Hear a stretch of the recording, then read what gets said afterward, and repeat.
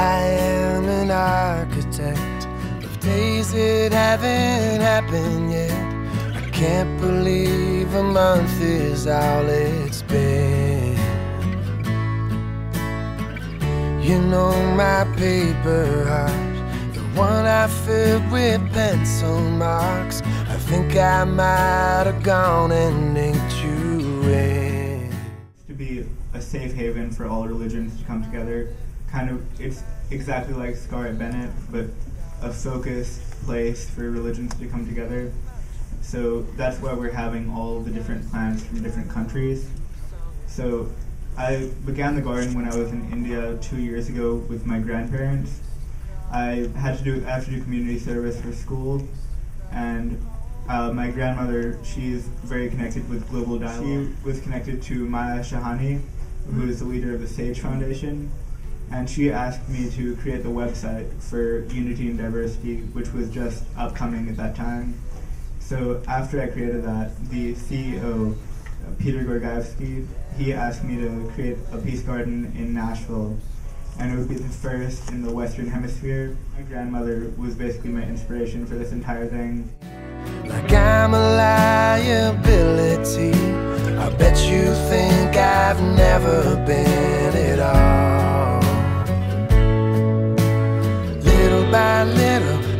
By inch, we built a yard with a garden in the middle of it. And it ain't much, but it's a start. You got me swaying right along to the song in your heart and a face to call home.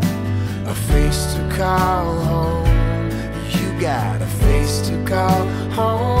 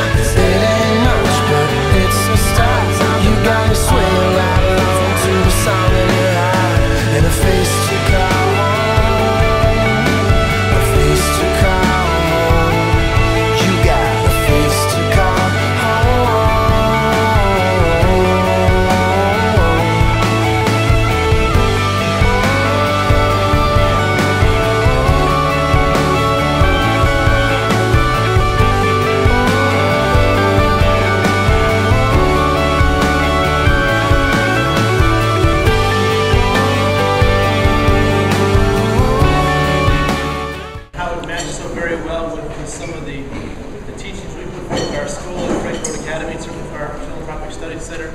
Uh, the sustainability of any sort of um, charitable endeavor is, is at the heart of 21st century giving. Kiran embodies that. And on that such a young man um, is unbelievably impressive. If you know Kiran, you know Kiran very well. He's very quiet, very understated. Uh, he'll never tell you he was the most outstanding boy of his, class yesterday. Um, he's, he's someone who it may be hard to hear his voice, but in his actions here, it's spoken very, very loud. Uh, it's the sustainability of this and his effort here is not just an inspiration to our school and some representation of us, it's inspiration to his friends, uh, and it's proof that you can do something great. Your heart is in it, and of course his heart's got to be in it. He's, he went through two snow days, and he went through all kinds of great outs, and here we finally sit. So, Kiran, congratulations. Thank y'all for being here. I'm so proud of this too. Uh, humbly proud to be sitting here with y'all.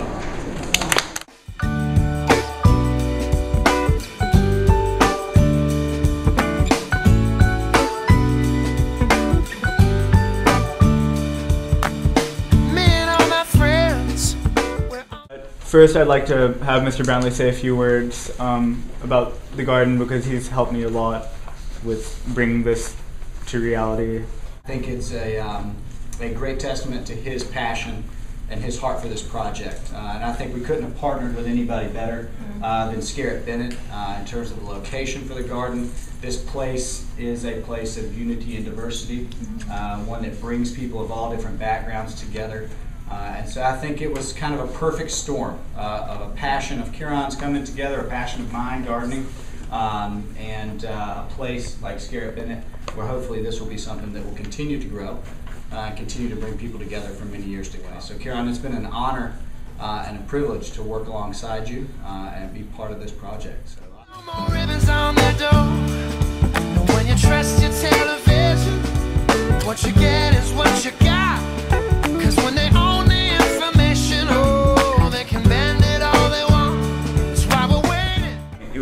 idea of bringing people together, not just by thinking that everyone's identical, but by understanding our differences and learning to love our differences. Although so much focus is put on the garden itself, uh, the real purpose of Unity and Diversity are these events to bring people together as and speak about our differences as cultures, groups, and peoples, just to bring us closer together as humanity. And someone who helps promote peace is my grandmother, and I'd like to have her speak a little bit about her experience and what she believes. believe that nothing is a coincidence, and that is what the spiritualists say. That nothing is a coincidence. Well, this isn't a coincidence. As much credit as Kiran may give me or you all may give me, I know that I have just been an instrument, and this is really the workings of the Lord. Let me tell you something about uh, gardens. In India, we call a saint. A saint is one who gives. He gives of himself. And that is what we call a tree in India too. It gives shade, it gives fruit, and asks for nothing for itself except for the beginning. So we, a saint we call a moving tree, and we call a tree a stationary saint. God is just and merciful. If you plant an apple tree, you will only, you, you plant the seed of an apple tree, only an apple tree will grow. That's justice. But then it gives so many, so much fruit, and that I think is His mercy. Again, the tree speaks. This is the tree speaking. Kiran, this is for you. I'm so proud of you that you are helping me in my vision of bringing peace. I have passed the torch to you, and I know you will do wonders with it. And to conclude, I believe in what a saint in India, Satya Sai Baba, says there is only one religion, the religion of love. There is only one language, the language of the heart. There is only one caste, the caste of humanity. And there is only one God. You may call him by any name. Thank you so much. We should have a United Nations representative over here in October to have our official inauguration, where it'll be like a ribbon cutting ceremony pretty much. plants everywhere, tomatoes coming off the vine like crazy. Um, and that's some that's a time when we want to encourage each of you to bring as many people uh, from the community uh, on campus uh, for that event. It will truly be the celebration of uh, the garden in its fullest expression. Uh, and so we definitely want to invite you all to come and join us for that. The date is to be determined, but uh, we'll let you know as soon as that gets set. Yay! Little by little, inch by inch, we built a yard with a garden in the middle of it. And it ain't much, but it's a start. You got me swaying right along to the song in your heart. And a face to call home, a face to call home. You got a face to call home.